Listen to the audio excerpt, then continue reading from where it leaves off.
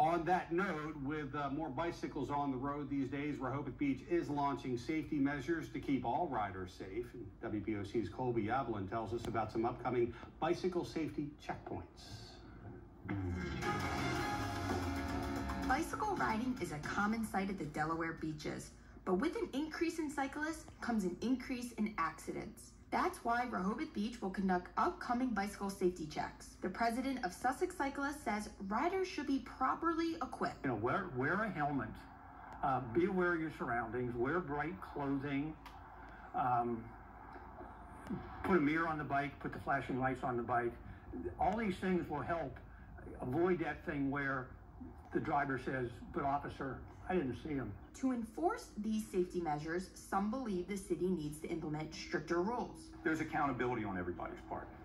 You know, um, I'd like to see fines increase significantly personally. Um, I think that's one of the best deterrents to bad behavior. DelDOT is getting involved with the upcoming checkpoints.